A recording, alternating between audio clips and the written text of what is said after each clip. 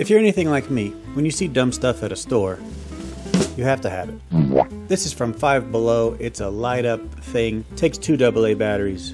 Obviously, I couldn't pass it up. The problem with devices like this, or this, or this, which is a little light up unicorn. Why do I have to have stuff like this? I don't know. The problem with these is they're battery powered most of the time. And buying batteries is very annoying. You leave the switch on overnight, next thing you know, it doesn't come on, and you have to buy more batteries for it, therefore, ends up costing you more money. So, today I'm going to show you how to rewire your dumb devices with some sort of power source, whether it be a wall adapter from Amazon or a USB cable. This way, we can ensure that all of our silly things are powered up and we never have to buy batteries for them ever again. To do this, we're going to need a multimeter of some sort. Doesn't have to be fancy, just has to tell you how much voltage the item is using. A small Phillips of some sort is recommended and just general wiring knowledge, although I will do my best to explain all this to you so you know how to do it yourself.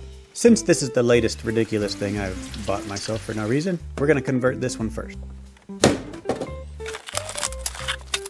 Got ourselves a little Goomba here on and off switch. Underneath it, you'll see the battery port. Use a Phillips head to take the battery cover off.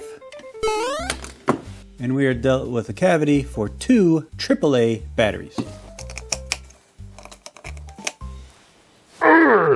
Isn't that fantastic? All right, so a AAA battery. This is a one and a half volt power source. Therefore, when we hook two of them up together, we now have a three volt power source. Typically, devices like this are wired up in series, so it's safe to assume that this guy is a 3 volt power source. However, we're going to test that. We're just going to go ahead and take off this bottom cover here. I put my batteries in and then just pry off this lower cover here somehow. So here's what we have. This is the positive side with a little capacitor, and then we have the switch going to the LED, which is inside of the Goomba here, and then our negative coming back out. So the full path is positive, negative, positive, negative. So I'm gonna take a multimeter, and I'm just gonna confirm. All right, there you go. We have 2.9 volts telling us that this little guy wants three. Now you want to pay attention to how this is wired up as well. Positive, bridge, negative. So the way we're going to convert this guy is with the use of a wall adapter. This 3 volt power supply is like 5 bucks on Amazon. I'll leave a link down in the description. And it comes with a plug end like this. I got a pack of four extensions on Amazon as well. And I think it was $10 for all four of them. I'll leave the link for that one below as well. So I'm going to go ahead and connect the extension to the power supply. And then I'm going to take the power supply and plug it in. Break out the meter again.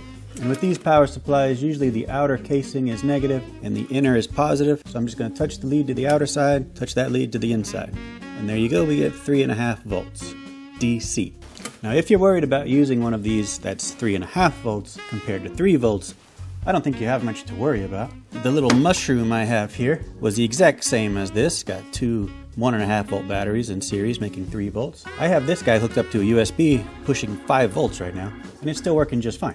Not that I would recommend that, this is just kind of a test I'm doing. It's been on for about two weeks and hasn't burned out yet. Again, I wouldn't recommend it. I want you to do it this way if you're going to do anything, because at least then we're close to what the starting voltage was and we're not pushing too far ahead. All right, so using some cutters, I cut off the capacitor from the positive side and a wire from the negative side. Now with your power supplies, a lot of times you will get one of these, and of the links that I will send you, you get some, some adapters like this. Now what that is going to enable you to do is plug in your extension and just have some ports where you can tap in and get some wires going there. So that's the idea here. I'm just going to run this positive wire right into the positive port until it's nice and tight. And then I stripped off a little bit of this negative wire. And now we should have positive negative lined up just perfectly. And I wanted to do it this way so that the switch would still work. If I just hardwired it in there, as soon as you plugged it into the power port, you it would be on. But this way, if I want, I can still use the switch on there, which retains its functionality. So what we need to figure out now is how to mount this adapter. And for that, I'm going to use a rotary tool and just cut away at this outer section right in the battery box. Just kind of make a little slot in it so that the power supply will still sit flush on this bottom pad here. Okay, we now have a nice hole, and that actually worked very well. It didn't gum up the little stone or anything. So now our adapter can sit right there. The wires can be contained. The only thing left to do, I'm gonna notch out a little bit of this ridge here, and then I'm gonna make a hole on the back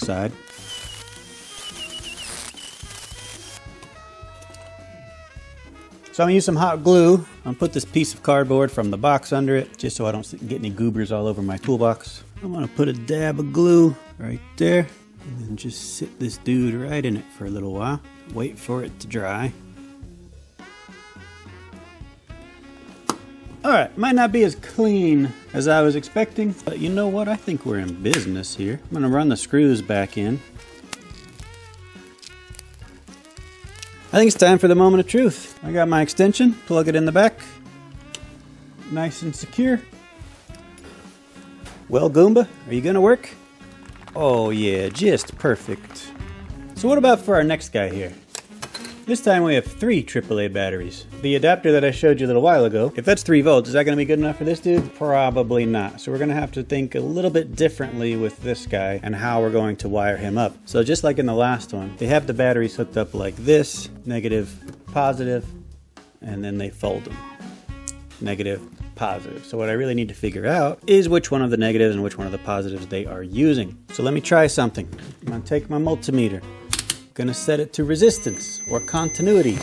They have continuity between those posts. No continuity between those posts. No continuity between those posts. So these two are bridged together like that. Let me flip it over. Try the same deal on the other side. Start with these. Nope, nope, yep. So these two are bridged together. It means I have an independent and an independent when it comes to continuity checks. This one just so happens to be a positive and this one is a negative. And I think that's all I really need to know about at this point. But what about the 5 volts? For that, we're to get creative and use a USB cable. This one just so happens to be a USB-C. So if you have a cable that you don't mind destroying for this part, because you're to destroy it, we're to take the USB-C end off of it and leave the one that typically goes into the wall. Make sure it's not plugged in while you do this. And very carefully, I'm to try to take some of that insulation away. So I'm just to take little nibbles out of it as I rotate the wire. I don't just want to chop into this thing because there's lots of wires in there. There we go. These USB-C cables usually put out about 5 volts. Let me just strip a little bit of the ends off this. Okay, so I have one of these charger block thingies.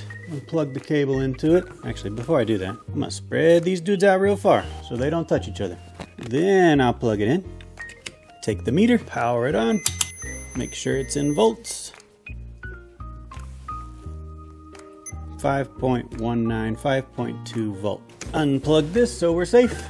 All right, so we have positive, negative here, putting out 5 volts. We have three 1.5 volt batteries wired in series, which gives us 4.5 volts. All we're going to try to do is solder positive end to this side, the negative end to that side, so that we get a 5 volt power supply. Now, yes, again, 4.5 volts, 5 volts, it's a little bit over. It's not terrible, but it's a little bit over. So don't do this unless you don't really worry about it. I think we're going to be fine, but if you're concerned with it, I certainly wouldn't do it, which is a good rule of thumb for everything. So what I'm going to do first is I'm going to solder this negative one just straight on to that little negative spiral duty. So I'm going to make a little hook with the wire, fish it right through the center. And there we go. We have our wire secured. Plug in the power supply, turn these lights off, and then flick it on. That looks like a USB powered candle if you ask me. Alright, so that was a little bit of a departure from the automotive car stuff that I typically do, but this is a pretty common occurrence around my house. I try to get things rigged up to where they work in a way that they were never intended to work. I don't have an issue with batteries. I just think they're kind of wasteful. Yes, I know there are rechargeable batteries out there, but why buy those and have to recharge them when you could just use a USB cable to do the same exact thing? I just wanted to give you a little bit of an insight that there are other ways and you can find uses for this general idea or this general concept all over the place. I hope you enjoyed the video. If you have any questions, leave them down in the comment section. And as always, thank you for watching.